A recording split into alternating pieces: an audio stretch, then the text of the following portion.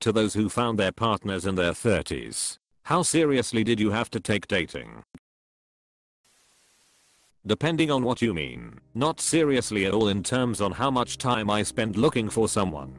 In fact I was pretty sure I'd be single forever, and I was fine with it. I absolutely set my bar where I actually wanted it, and stopped wasting any time dating guys that had any qualities I didn't like. After a decade of trying to make things work with losers or men who took advantage of me, or men that just weren't great for me, it was a relief to just say back quote actually I just don't like this guy, and refusing his second date or texts, or whatever. And if he made an offensive comment, it was nice to just be done instead of struggle on if I should overlook it, or whatever I used to do. I married in my 20s. But that's the same perspective I took in dating, and it's why it flabbergasts other women when I talk about my dating history, that I've only dated genuinely good men. The kind that I would gladly want my friends to date, if they were single and compatible. Be choosy. This is your life we are talking about. You don't have to settle, because being alone is better than dealing with a man's bullshit, or trying to change them. And I took that cue from my own parents. There's so much love, and so much, so so so much resentment, and that's simply not a life I ever wanted to live. Not at all. I would go on dates too. 3x slash year. I only had one online dating profile, and would only check it a couple times a month. By contrast my husband was on all the dating apps, I think my checklist was pretty simple. Be stably employed and not financially reliant on anyone else. Having kids wasn't a deal breaker, but I got one too many guys who couldn't shut up about their ex-wives. So kids weren't exactly a bonus. The hard criteria was clicking with me. It's something I can't qualify or describe. Edit. And for the guys who had kids, they must be involved with their kids in a positive way. I will not tolerate deadbeats. Close bracket. That clicking is the hardest part for me. Most men around me are financially stable slash employed. Good slash acceptable looks with a wide range of good slash alright personalities. So in theory at least half of them meet the standards for me. Unfortunately there hasn't been any click slash growing chemistry slash ease to be with like ever. So I'm still single. I feel like from age 32 to 35 I was dating online like a mad woman. Sometimes 3 dates a week. Phone screening. Almost like a job. Ironically I fell in love with someone I didn't meet on the apps, and he has never been on dating apps. How did you guys meet? The universe is funny sometimes. We met at an art workshop. I wish I could say I took it lightly and had fun, but in reality it was more like a part-time job. Did you have a strict criteria? How long did it take? And did you find your perfect partner? Not who you're applying to, but I viewed it as a job too. I probably was on apps for 5 to 6 years total, with relationships in between, before finding my current partner, who should be the one. One point to note is that while I do want marriage, I don't want kids. So my timeline as slash was a little more flexible. A comment I've left before, I went on my final, first date with an attitude of indifference too. I also started treated dating apps like a job which I think helped me after many years on them. I was really intentional with my time on dating apps, maybe spent like 15 minutes on them per day, but I did that so I could consistently log on and go through my 6 likes for the day. I set those limits for myself because I was either spending way too long pointlessly analyzing profiles or I was getting overwhelmed and not going on the app as a result. I chatted minimally on the apps before moving to in-person dates. I went on dates, even if I wasn't excited about the person from app chatting. My now partner was actually from one of those unexciting app chats. I didn't want to go on the date really, just like I don't want to go into work half the time.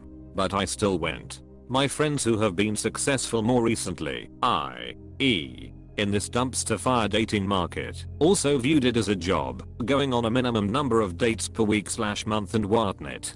Some people absolutely just get lucky, and even finding a partner following the above does come down to luck.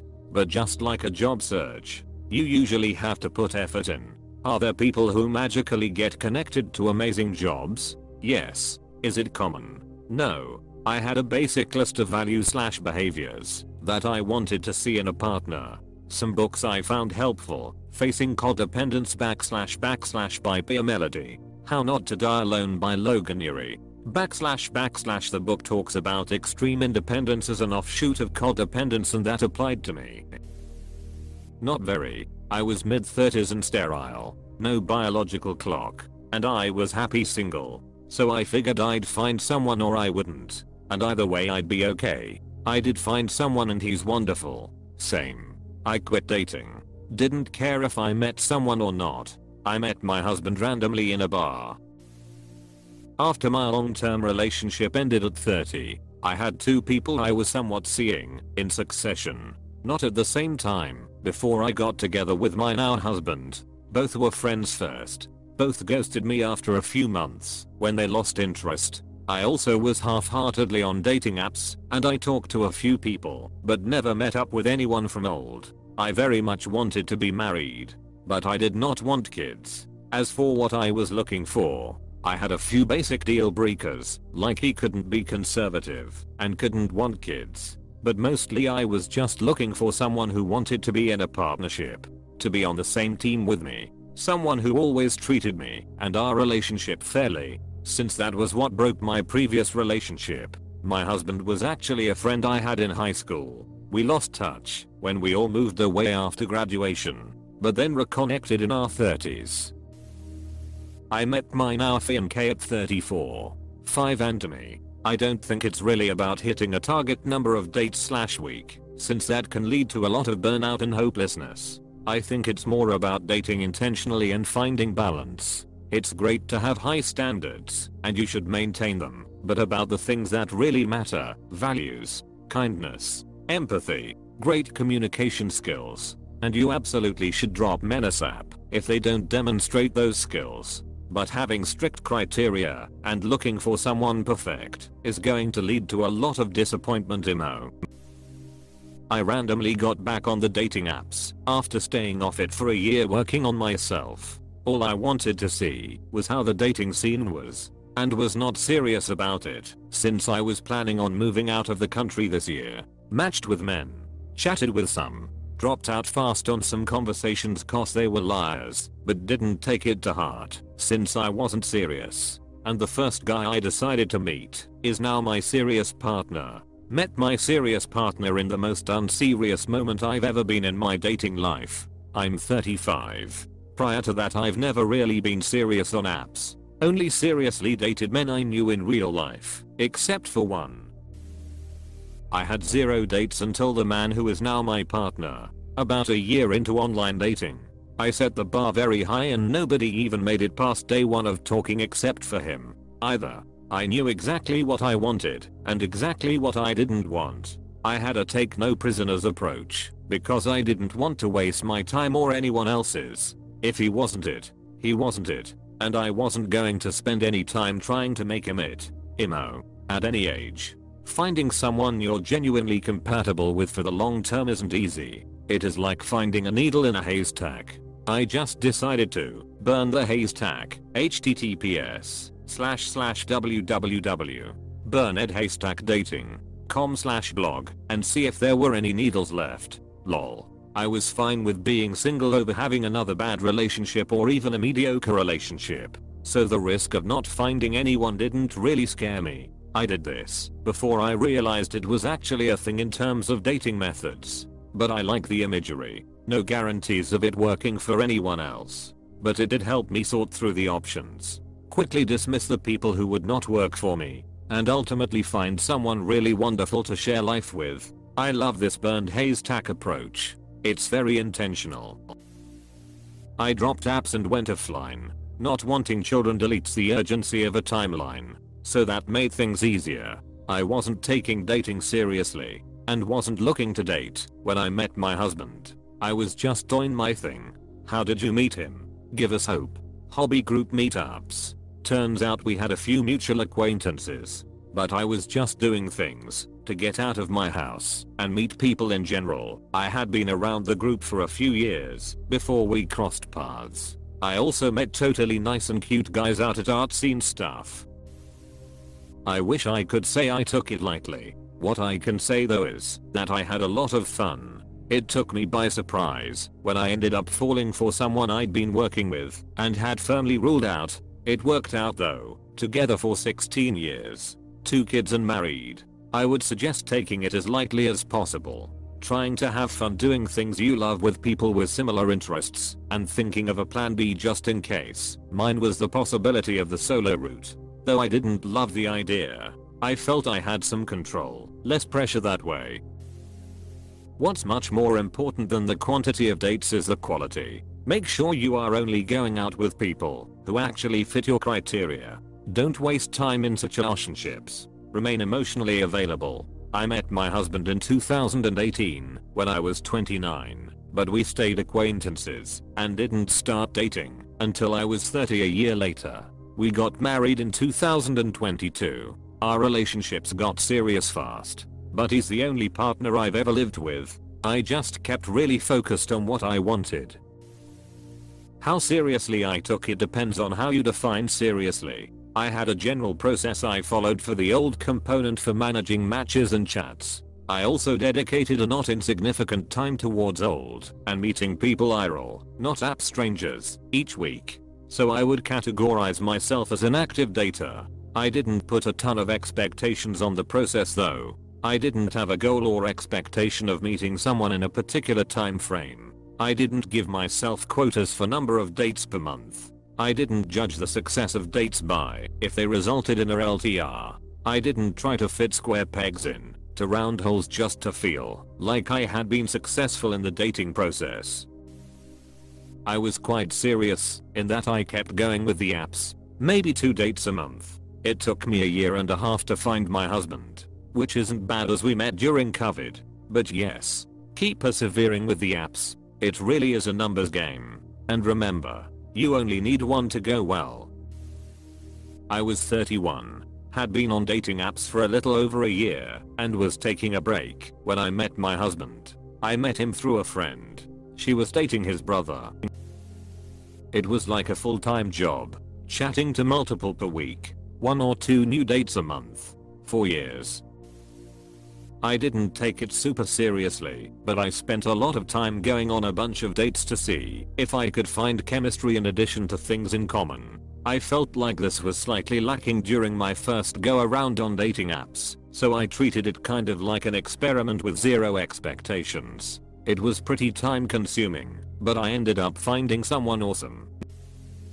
I took it seriously, in that I was talking to a lot of people, but this was in summer of 2020, so I was being pretty selective about who I'd actually meet. I wasn't sure about kids, assumed I wouldn't have any. I've never dated a guy who wanted kids, but definitely looking for something serious with marriage as the end goal. I think it took about 6 weeks or so to find my so. I had only met up with one other guy, had plans with another, but I cancelled on him to plan another date with my so. I think we chatted online for like 4 to 5 days before meeting in person. IDKY but I've always had a really easy time on dating apps. There's a sweet spot with men where you can tell by the profile whether or not they're serious, like they have to put effort into their profile, but not too much, or they just seem like a serial dater who will never settle down. Just had to be super clear and follow through on what I'd accept and what I wouldn't. Eventually landed on no more giving guys I felt wishy-washy about a chance just to be nice. And taking early signs of yucky behavior seriously, like programmers bragging about income or a guy paying for a drink, when I explicitly said I got it, you won't overrule me, and get a second date. For the app I used I did have to pay extra to chat with more guys at a time. Giving room to talk to the one I was actually super into. I could have been more ruthless about unmatching for sure, when not in relationships. I was going on dates 1 to 3 times a week. Probably. I took it pretty seriously. The analogy I made was that if I wanted to run a marathon, I wouldn't just go out for runs when I felt like it and then just see what happened. I'd be out there training. So that's the attitude I took into dating. I worked on myself a lot. I worked on figuring out my maladaptive dating patterns. I knew what I wanted in a partner. But that eventually led me to a place where I was overthinking everything and had honestly forgotten how to have fun with the process. It was like I was trying to solve a crime or something.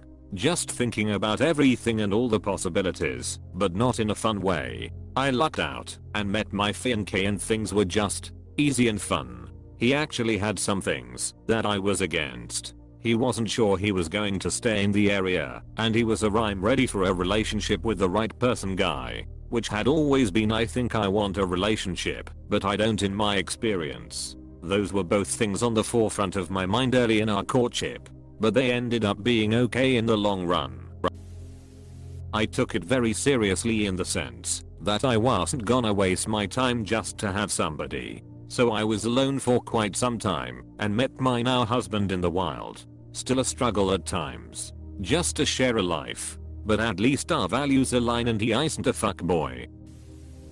I took it very seriously and went on easily 200 plus dates between ages 26 to 32. Mostly from dating apps. I was very clear on what I wanted, but I struggled to find it despite meeting a ton of men.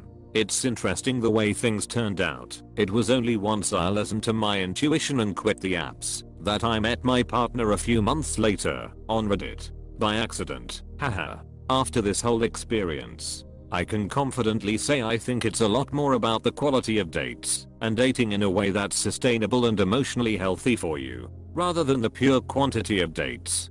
Being very clear on what you're looking for and trusting yourself is really key to filtering well in dating. On Reddit, I'm curious. Would you mind explaining your Reddit love story?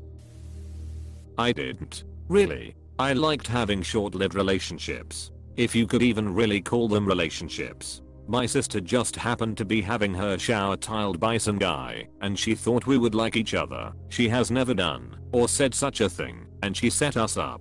We did click pretty instantly and IDK. I just felt like I totally want to be with this guy forever. And he said the same about me. It felt effortless with my now fiance. I feel like that's kind of an old school way to meet someone, but it was just 4 years ago. I'm 31 and want to take dating more seriously, but reading these comments exhausted me. I don't know what I'm gonna do. Heather I'm about to turn 30 and feel the same way. Girl. It was like having a second job lol. I was going on 2 to 4 dates a week, with some breaks from heartaches, misalignments and rejection. It was easy to tell which ones wouldn't work, which was Around close to 60 to 80 dates maybe in a span of 2 years haha. Gosh even typing, that number makes me feel exhausted. Found my now partner the day I decided to give up haha.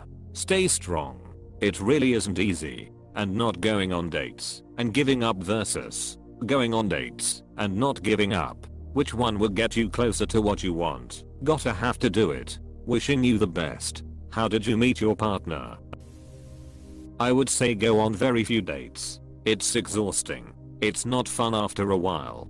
Be as fussy and clear and unapologetic about your needs from the get-go. Set the bar extremely high, because as you go on, everyone shows imperfections you couldn't anticipate. Dating was a part-time job for sure. I wish I'd gone on fewer dates as it was time consuming and disheartening. Luckily, or not, I'm picky af, I only met one weirdo, I took it pretty lightly and didn't use online dating. I had fun and met a lot of people going out or through friends. I wasn't sure if I wanted kids or to get married, but now I'm happily child free with my husband. The way in which I took it seriously was making sure that my schedule had free time in it to actually go on dates. My schedule now would make that much harder. Beyond that, I focused on short gut check conversations in app, like a few messages. Nothing wild just making sure that they seemed to be normal and responsive, and then moved quickly to coffee. But yeah, being willing to cut things off with folks early on is super helpful if it's not a ref yes it's a no. And time spent talking to someone on an app is better allocated meeting them in person. That said, between my 20s and 30s I specifically moved to a place with better dating prospects for me. Your environment can definitely impact how hard it is.